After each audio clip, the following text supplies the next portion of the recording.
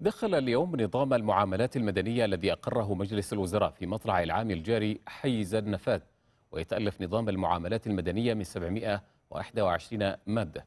كما أنه يعكس التزام القيادة بنهج التطوير والإصلاح آخذا بأحدث التوجهات القانونية والممارسات القضائية الدولية الحديثة. وأن نظام الأحوال الشخصية يشكل نقلة نوعية كبرى في جهود صون وحماية حقوق الإنسان واستقرار الأسرة وتمكين المرأة وتعزيز الحقوق.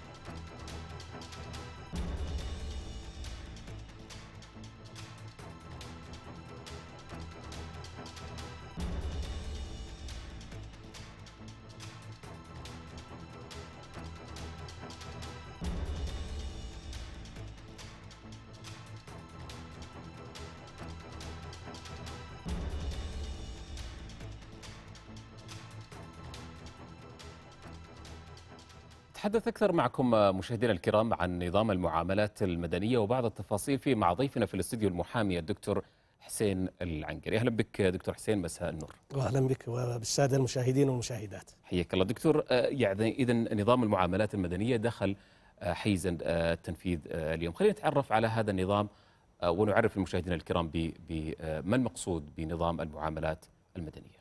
نظام المعاملات المدنية هو يرتب العلاقة التي تكون بين آه، الأفراد في تعاملاتهم وعقودهم المدنية أو في التعاملات ال- المالية.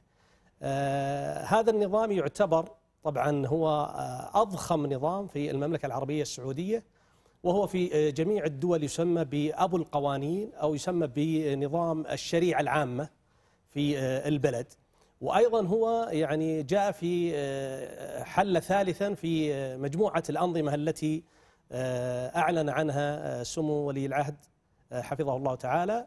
وهو يعتبر أيضا النظام العام أو القانون العام الذي ترجع إليه كل الأنظمة عند عدم وجود يعني ثغرات أو عدم وجود نصوص نظامية في هذه الأنظمة فهي ترجع لهذا النظام. فبهذا اكتسى هو وتحلى بأن يكون هو آه، أبو القوانين أو ب- أبو الأنظمة أو ترجع إليه جميع الأنظمة. وهذا النظام يحد من الاجتهاد القضائي وأيضا يعطي تنبؤ بالأحكام وأيضا يعطي آه، وضوح آه، لدى جميع الأفراد المتعاملين. يعني كان في السابق موجود مثل هذه الأشياء لكنها في في مدونات الكتب وفي وفي صدور ال- القضاة. أما اليوم فأصبحت في النظام والناس يرجعون إليها آه، تريح القاضي وتريح المحامي وتريح آه، أطراف الخصومة.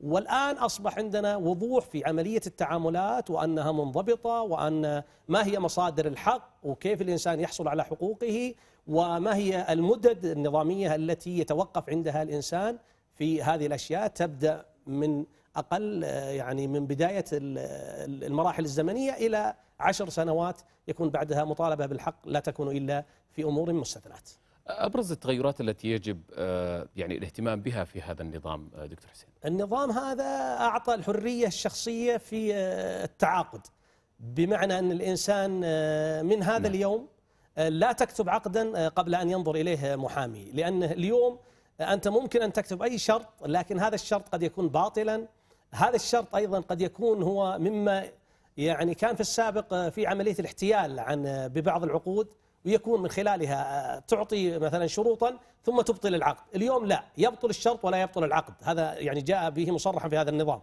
وأيضا ال- الشرط الذي أبطل إذا كان لولاه لما تم التعاقد أيضا هذا يبطل العقد.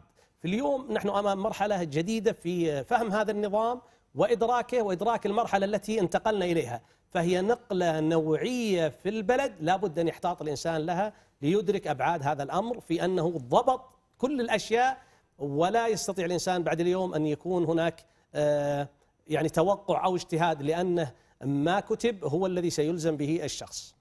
جميل آه، قد يكون يعني البعض يقول لك والله أنا مش بحاجة هذا النظام هل هذا النظام يعني يمس ال- الجميع آه، أم يحتاج إلى آه، يعني وأن يكون هناك عقد بين طرفين ليكون هذا النظام يمس آه، هذا الشخص. النظام هذا يمس الجميع لأن اسمه نظام المعاملات المدنية. أي تعامل بين آه، شخصين آه، بل هو أيضا يعني مع الشخص نفسه. الالتزام مثلا جاء مثلا في نظام المعاملات المدنية نعم. آه، الحقوق آه، أو مصادر الحق وجعلها خمسة أشياء. آه، جعل العقد وهذا الذي يكون بين طرفين. وجعل الالتزام الذي يكون بالإرادة المنفردة. وجعل أيضا آه، الإثراء بلا سبب. وجعل أيضا آه، الفعل الضار. وجعل ما أوجبه النظام. فلا أحد في يعيش على هذه البلد إلا وهذا النظام يعني آه، يتعامل معه. ولا بد أن يتعامل معه في يوم من الأيام سواء عن طريق النظام أو عن طريق آه، ال- ال- التعامل الودي. جميل. آه، هذا النظام هل يستوعب كافة العقود والتعاملات دكتور آه، حسين؟ وأيضا دورة في في تعزيز الثقة خلينا نقول في في قطاع الأعمال.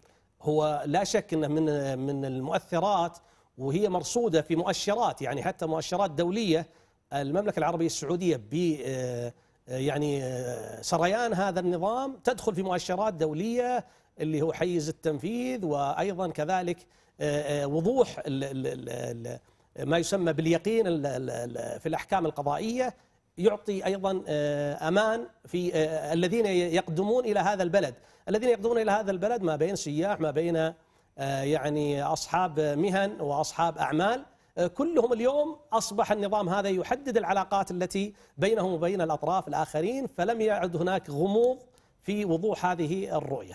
جميل حدد هذا النظام أيضا أقدمية العقود ومتى يجب أن يكون هناك دعوة فيها وما إلى ذلك.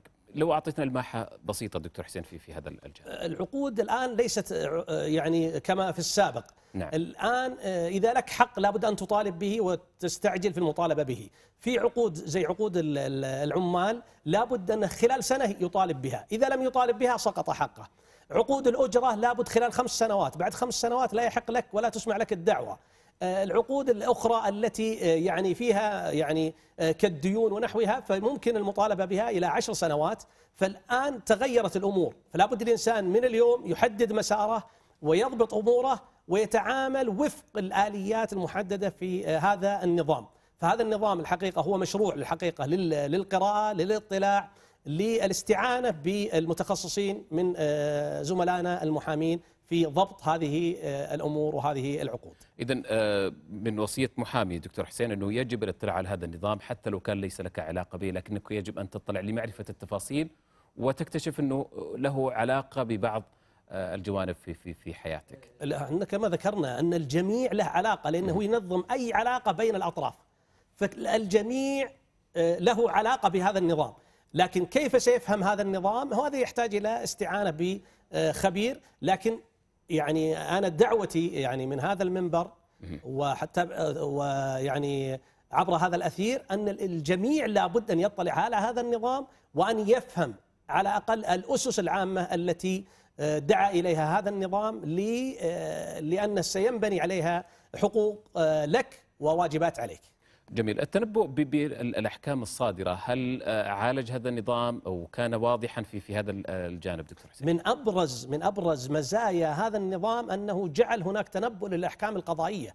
تعرف من اليوم أن الحكم القضائي ماذا سيكون عليه؟ يعني هو لما جاء وتكلم عن العقود، تكلم عن العقود في تفسيرها، في شروطها، في أركانها، في مبطلاتها، في آليات فسخها، في آه، مددها، لم يترك شيئا.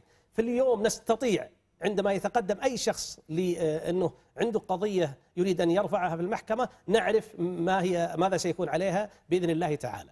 جميل. إذا مثل ما ذكرت دكتور حسين هذا النظام هو نظام المعاملات المدنية يهم ال- الجميع ويجب على الجميع الاطلاع على آه، تفاصيله ومعرفة أيضا الجديد فيه. أنا أشكر وجودك معنا في ال- الاستديو. ولعل الحديث أيضا عن هذا النظام يحتاج إلى مزيد من الوقت لوجود العديد من آه، المواد فيه. شكرا لك المحامي الدكتور حسين العنقري. العفو. شكرا لك.